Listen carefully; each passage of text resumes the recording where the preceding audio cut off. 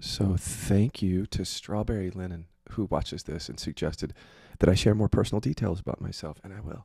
I'm going to. Yes, that was the whole point of that video. And to introduce you to me so that I could introduce you to my experience even more. I want I just want to. I want to connect more with people. I feel more intimate. I don't know if you can feel that energy, but I feel more connected, trustful. It, what that really is is that there was just this mm, small wall of separation that was all energetic. Because you know this is an embodiment process, so talking about some old layers that I wasn't didn't know was there. That's the embodiment process. So that's the whole thing. Like if if if teachers could be more honest about the embodiment process, you wouldn't think there's anything really wrong with you. that we contribute to it. Because if we if we hide the ball about what really happens for us and then you wake up and then stuff happens for you after, but you don't have any point of reference. What's happening to me? Because it looks like teacher X just woke up and didn't suffer anymore. But here I am, I woke up to my true nature, and then there's these layers. Well, no, the truth is that teacher X is just lying. Most of the time, is it that teacher X, there's stuff there going on, but they're not sharing it. That's the shame and the emotional repression that does that. It's not a principal reason. There's no principal reason. What would be the principal reason to not be open? What would it be? Oh, I've heard teachers say, "Well, you don't want to distract from the pointers." Man, that's bullshit. Now that's that's that's that's the kind of thing that a mind would say that's run by repression to try to hide. I don't buy it. To me, the new era is transparency and authenticity. And then, therefore, it'll be the end of the guru. Because if everybody's just authentic and trust their own experience, nobody can come in and swoop in and say, I'm the Messiah. Or if they do, you can process that. Because chances are they won't, right? Because if, if, you, if you already get to the position where you're a teacher, well, watch out because teachers don't always process their stuff. So if you start thinking you're the Messiah, well, then you wouldn't process that. So let's process why before you become teachers, right? Because you can see what we teachers do, right? Ugh. We fuck it up. We fuck up the modeling of a life that is lived because we're not sharing our shit. okay, so I'm going to share my shit here. What are my triggers? So I, this is okay, but this is we're gonna I'm gonna break this down. See, I'm gonna show you why I'm being transparent on the teaching side of things. On the personal side of things, it's just healthy for me to connect and be open and authentic. This is just healthy. But on the teacher side, so helpful. Okay, so one of my main triggers is being in a relationship with somebody really close, and it's like uh, they turn on you. Now, I didn't understand that trigger until recently when I dealt with a really deep trust issue that went all the way back. I don't really have triggers, though, now. So I can't say that this is a current trigger. Certainly in my first marriage and in the beginning of this relationship, there was some, every now and then, this trigger, like, um, it would be around sometimes cleaning. Because I had, you know, I have, I have stuff around cleaning so let me show show you to show show you that. When I was a kid, mom and dad were pretty incessant cleaners, the way I saw it, and I didn't feel connected to my body or to my family, but I wasn't aware of this, and the cleaning represented you're just not here. That's just how I would express it if, from the body. It's like you, it, you're more interested in whether the house is clean, then what's really going on for me? That's how it felt. So if I perceive a partner who is close to me, who who makes things important more than the relationship, more than the connection, I become resentful, but it's all buried. Because yeah, that's how my trauma works. It's like when I get into a relationship with you in the past, I've been watching and monitoring to see if you're the kind of person that would turn against some somebody. But I, am not conscious of this. You see, this was, yeah, back in the day when I was really suffering, I was conscious of the triggers. But you know, it just became chronic pain and programming in chronic pain at a certain point. because again, with this work, when you make conscious the emotions with a potential trigger immediately, there's no trigger.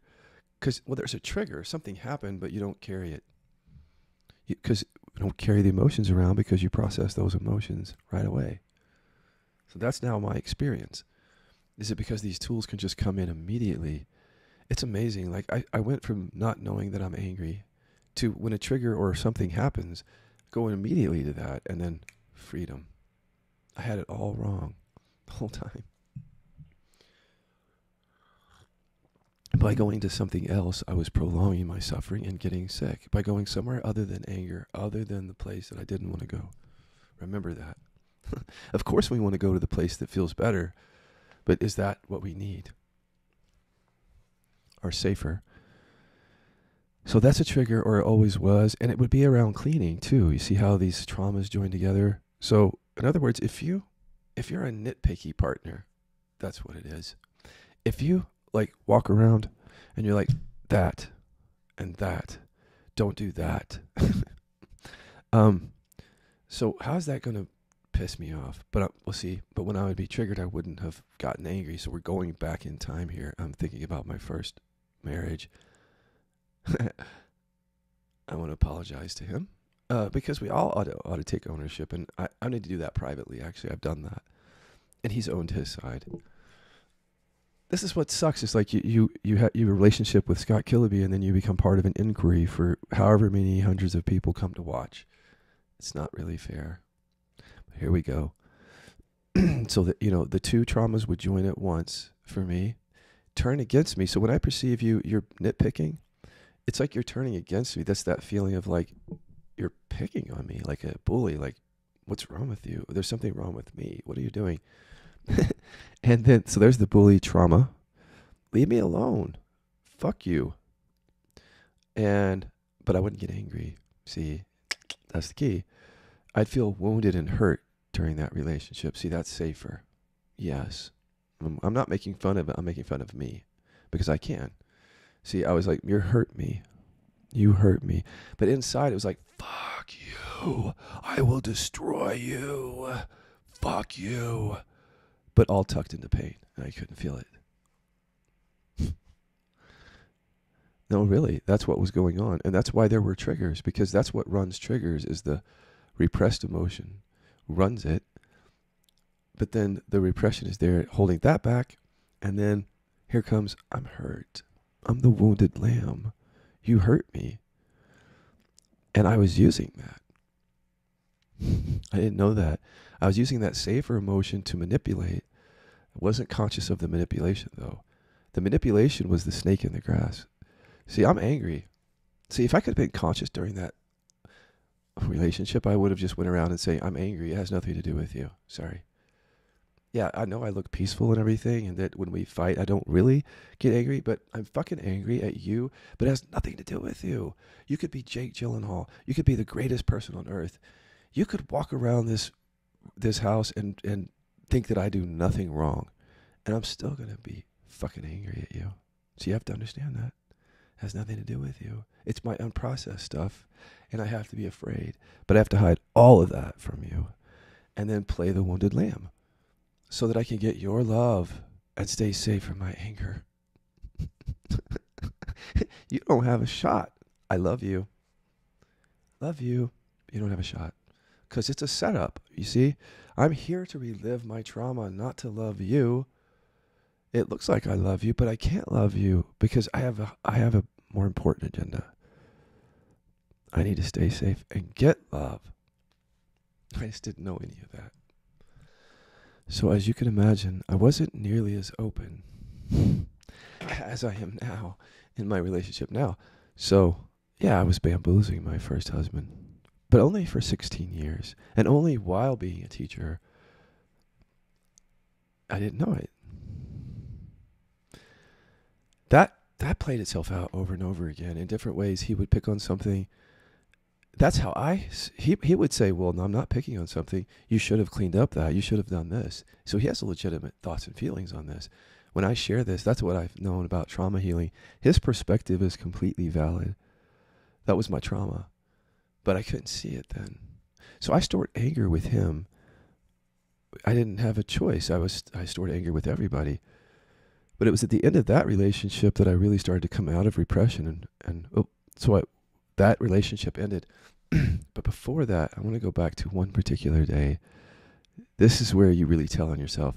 Like this is a back in the day when I was a non-dual teacher, so I would just be p- present, pointing to that, or being present would have been not even being present. That was my true nature. I was a teacher in the world. This is how I showed up in relationship. So it felt authentic when he would get triggered when I didn't feel the trigger.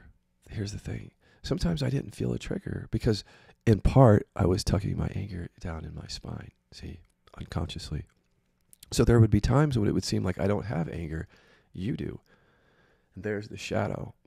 So one time I saw that he was angry and that shadow came up for me and and the teacher thing came up is like I got to help him because he's like really angry. That's such that's so fucking stupid. I I'm sorry, that's embarrassing.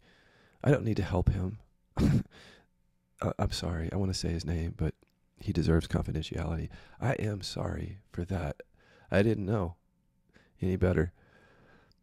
I didn't know that I was angry. So that was a shadow. and when he was angry there, then I punished him in different ways by not getting angry. I didn't know I was doing that, but I was also teaching him a little bit, and that's the embarrassing part.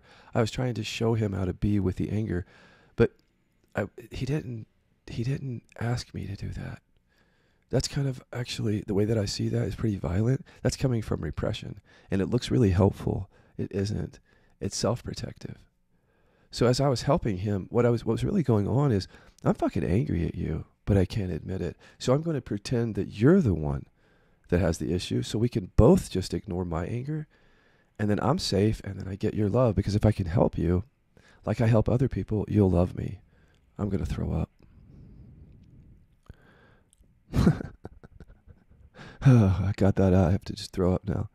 No, I don't really feel that there's no energy with it like oh i can't believe i did that but there's an accountability and that's that's how i express accountability and dan does too and others cringe it's just a way of expressing something that you see in yourself but you don't disown that thing you know you don't go cringe you go oh i need to open to that anger that i couldn't open to see it's not cringe let's don't feel that it's cringe let's open to that and it's just these little buzzwords that we use like that's gonna make me sick. I'm gonna be sick. That's a way of tuning back into the body. Actually, I've I learned that because I noticed that Dan did that early, and we were developing, and I was doing that, and Toshi and others were doing the puke sign in chats with each other as we came out of repression and training trainers, and we're seeing ourselves our patterns or seeing the patterns in other people, and then we'd be like, here's this pattern, puke emoji.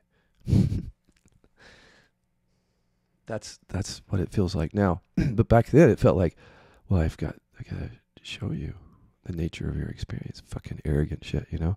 Like no, I didn't. I need to show up like I'm in a relationship, like anybody else does. I need to show up. So I didn't realize that. I don't need to show up as somebody who's present. I just need to show up. Just show up. Forget all the fancy spiritual stuff. Forget all the psychobabble the way that I could have helped that relationship is by saying I'm angry and it has nothing to do with you and I can't show it. That's the that's the root of the problems on my side. I don't know what it is on your side. you got to deal with that.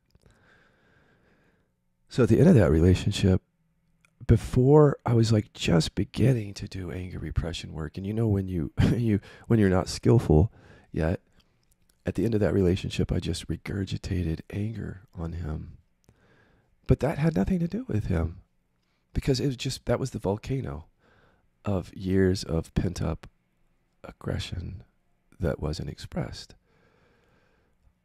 And again, I've already apologized and taken ownership of that. But at the same time, that felt good. It wasn't a good thing to put on him, but it was good for my soul because then I understood I can get angry. I did have to really own that again later because of the way it was spilled on him. It was disproportional to the moment, to what was happening. It was truly the volcanic anger that one who represses anger experiences. I don't really experience that anymore because of the work. It's much more embodied now and not explosive like that. But that's the consequence sometimes of being in a relationship, right? For so long and holding something back. I think people get divorced be- before they unload on their spouse sometimes. And the work came into my life and disrupted my repression. And so I couldn't just leave, you know, and hide like I had done so many times. I the anger just came out. So I want you to I want to break down that trigger before I go to the other triggers so that turning against me I couldn't see it. See, so let me deconstruct this for you. Going back, I'm going to play Monday morning quarterback. I'm going to reverse engineer the whole thing for you so you can see how your triggers work.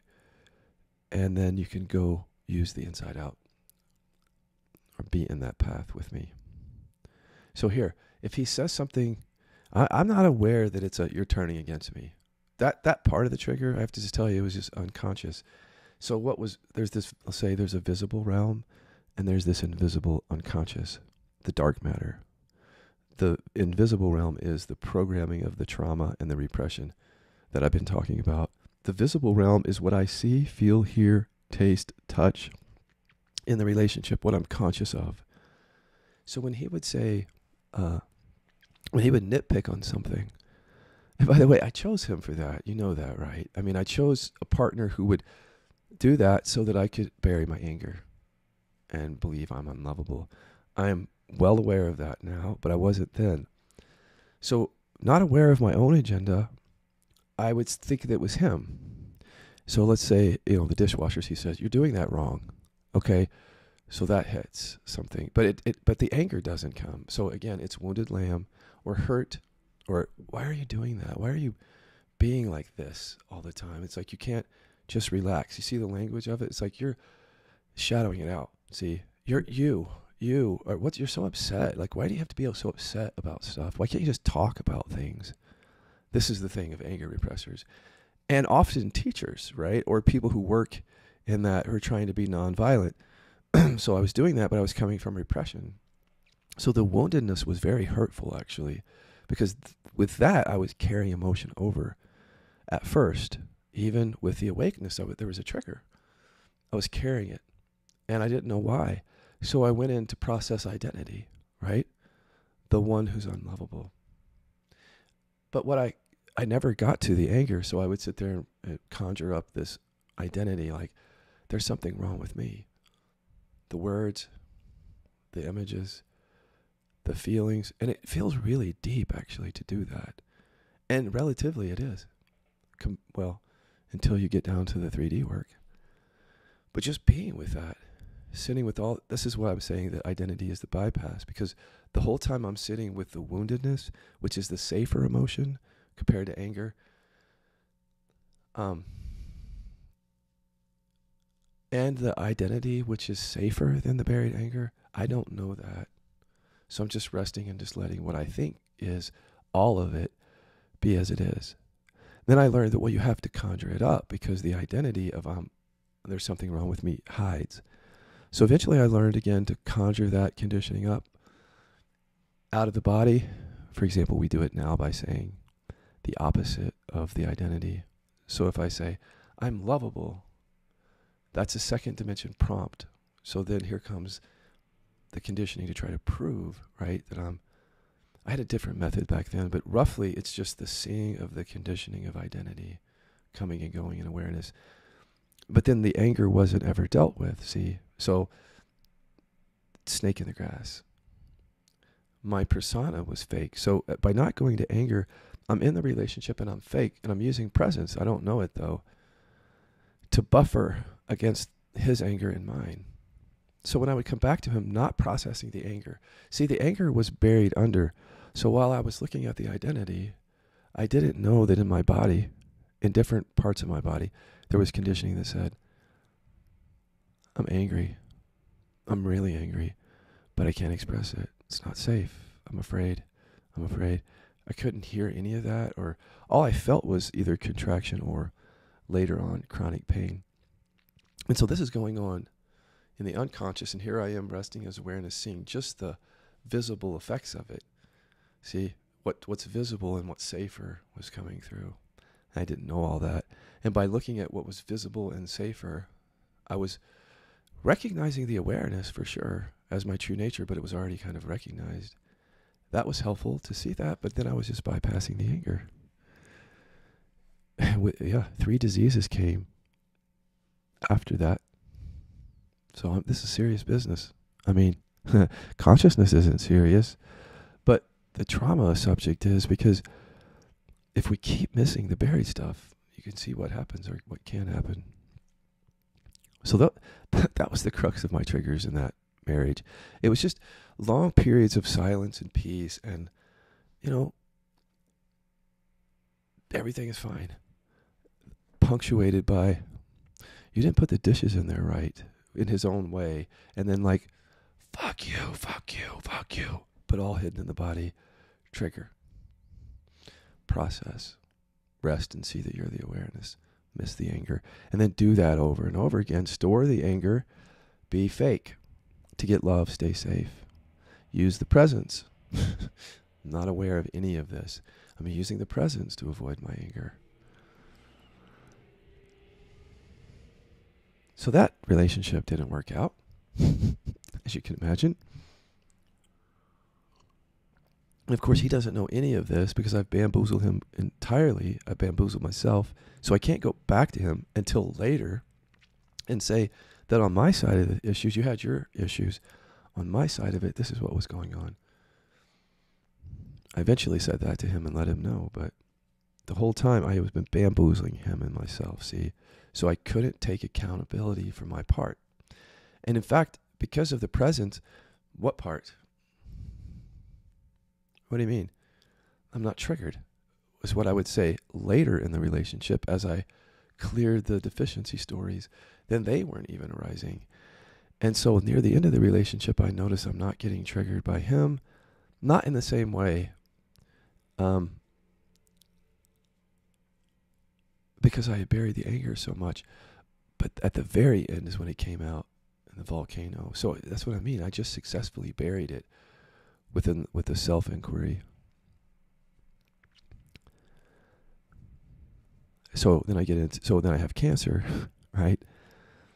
First disease before that marriage ends. There was a trigger in the cancer. It has to do with people helping me. It wasn't that I'm going to die. Uh, it that wasn't there. I mean, that wouldn't have been a fun process, but that wasn't the fear. There was an initial fear, but when I got diagnosed with cancer, I just remember like how much peace was there.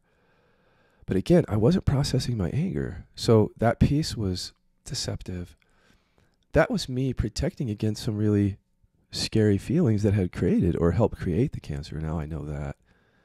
I just couldn't tap into the anger at that point. So I went the conventional means, you know, the doctors and had my testicle removed. Uh, I really wasn't dealing with the anger yet. And the trigger with people helping me. Hmm, yeah. Why would that trigger me? That was the trigger because people came out of the woodwork at first. And so that's the gaslight that I hear other teachers talking about. Like I have cancer and I I don't know that it's emotional repression. And I don't know the extent to which my diet might have played into it. I'm pretty ignorant, you know. So people come out of the woodworks and they're saying they're not talking about the emotional stuff though, which is interesting. Because Dr. Sarno's work wasn't as well known in the spiritual community, and there a lot of people thought of that as woo woo uh, back then. A lot of people, not everybody. The, the idea that emotions create disease. So they weren't saying that. They were saying your diet.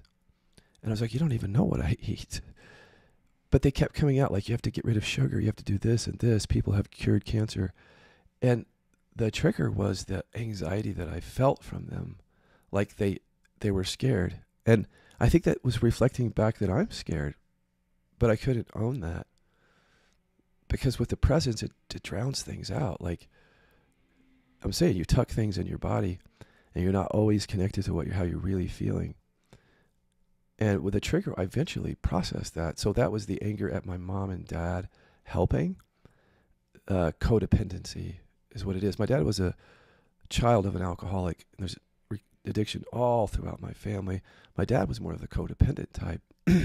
so when those people came out to fix me, or I perceived like, I was like, Dad, and but see, I but that's the reason that I was had cancer is that I was angry at dad, but I didn't own it. So the trigger, oh, it's perfect for this video, guys, because the trigger was uh, was hiding the anger. Let's see, the the trigger was they're trying to help me. Um, so what does that mean about me? I'm helpless. Because that's what it felt like when dad would, mom and dad would just be like really codependent. I'm, I can't help myself here. It's just like you're showing it to me. And so, but that's anger, see? But I couldn't open to it. And that's probably one of the big reasons why I had the cancer is because I couldn't open to it. So there I did the same thing with that. Didn't go to the, the anger at dad for being helper dad. And instead, I just processed the identity. Missed opportunity. At the same time, like I, I, I was at peace with those people helping me then. Because you can be at peace with something by dealing with something in the visible realm.